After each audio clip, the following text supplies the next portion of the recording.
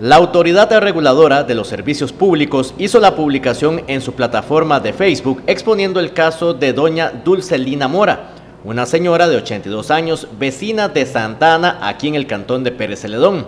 Según la publicación, a esta adulta mayor le retuvieron la cédula de identidad cuando se subió al bus de su comunidad y además se quejó del servicio que recibió. SN Sur Noticias se comunicó con Jorge Sanarrucia, quien es consejero de usuario de Arecep, para conocer en qué términos terminó este caso tras una mesa de diálogo donde estuvo la afectada y un representante de la empresa autobusera. El caso versa sobre la usuaria doña Dulcelina Mora Mora.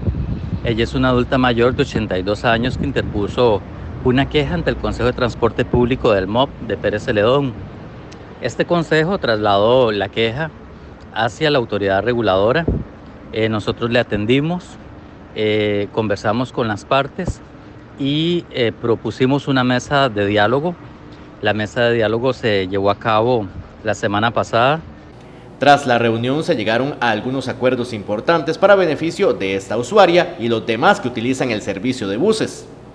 Y en ella se llegaron a acuerdos, se le solicitó disculpa a la usuaria, y por otra parte también hubo un compromiso de la empresa de realizar capacitaciones a sus choferes de manera que el trato sea este, el, el adecuado para doña Dulcelina Mora Mora y para los demás usuarios que utilizan el servicio. Facilitar los canales de comunicación es otro aspecto que se logró tras la mesa de diálogo. Este, y también se intercambiaron los, los números telefónicos de manera que haya una comunicación más fluida entre el usuario y la empresa y la empresa y, los usuarios. En este caso se llegó a un feliz acuerdo entre las partes.